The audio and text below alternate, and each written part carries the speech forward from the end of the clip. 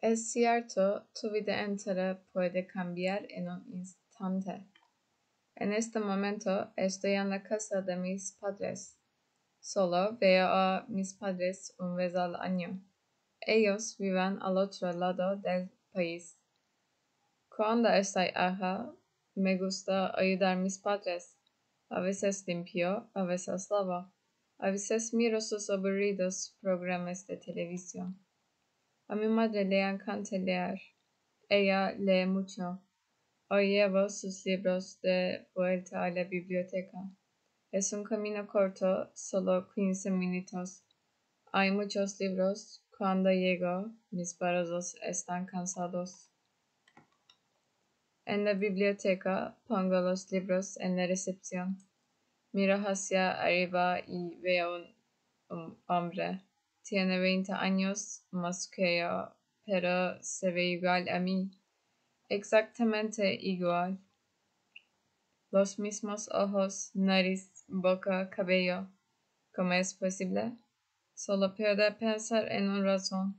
Él es mi verdadero padre. Corro a casa, necesito preguntar a mi padre. Mi mente corre. Es verdad, es real. Llego a la casa. En la cocina encuentro a mi madre. Intento hablar, pero no puedo. Necesito tomar un respiro. Ella sonríe y dice, oh, ya estás de vuelta. Pregunto quién es el hombre de la biblioteca.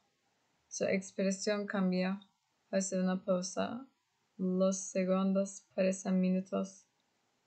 Ella me dice que tengo un parentesco con él. No puede respirar. Mi mundo está roto. Pregunto si mi padre sabe. Ella, ella dice que sí, por eso él nunca va a la biblioteca. Me siento frío. No puedo pensar. Me siento apenado por mi padre. Él es un buen hombre.